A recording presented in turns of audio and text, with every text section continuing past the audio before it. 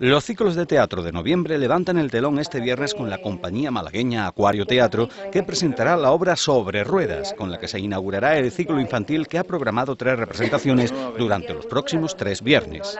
Una compañía que ya ha visitado el ciclo en años anteriores y con muy buena respuesta por parte del público. Comenzamos con Acuario Teatro, una compañía malagueña que ha venido en varias ocasiones al, al ciclo. Es una obra musical, es un musical familiar que gira en torno a un tren abandonado, es muy divertida, con muchísimos eh, momentos musicales y de diversión, de interacción con el público y, es una obra que bueno que yo creo que es perfecta para dar comienzo al ciclo familiar de los viernes de teatro que como sabéis pues se hace este, en esta ocasión durante tres viernes a las 7 de la tarde en la Casa de la Cultura.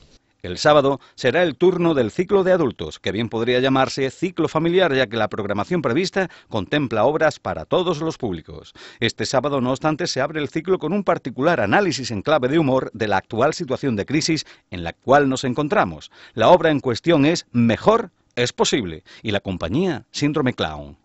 Es una compañía eh, sevillana que ya también ha actuado en varias ocasiones en, nuestro ciclo, pero en esta ocasión vienen con una obra que se estrenó recientemente.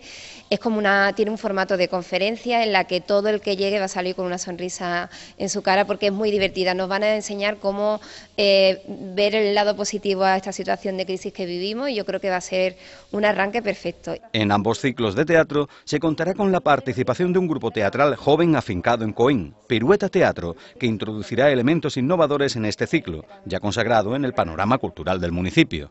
Este año también como novedad en, ambos ciclos tenemos una colaboración de una compañía que está sentada en Coín, que es Pirueta Teatro. Es una compañía que que viene de fuera, pero lleva un, unos meses viviendo en la localidad.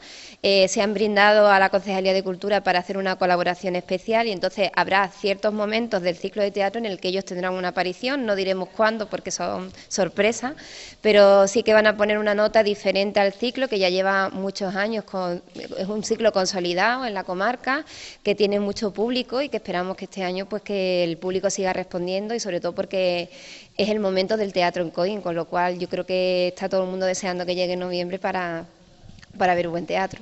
Desde el área de cultura municipal se recuerda que los abonos para todas las representaciones del ciclo continuarán a la venta hasta el viernes próximo, día en el que arrancarán las representaciones. Los abonos se pueden adquirir hasta el viernes, eh, con ellos se reduce un euro en cada entrada, con lo cual es un ahorro de tres euros en general, tanto en el infantil como en el de adulto. El de adulto vale a siete euros y el de infantil a cinco.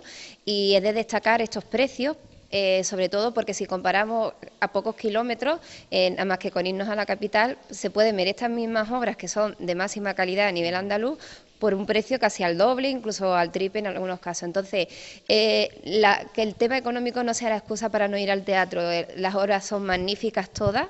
Eh, yo no podía quedarme con ninguna, cada una tiene su estilo, pero sí es verdad que son de una calidad muy alta. Tenemos incluso uno, el, espejo negro que acaba de recibir un premio Max, que es la máxima, el máximo premio en, en, en las artes escénicas, con lo cual.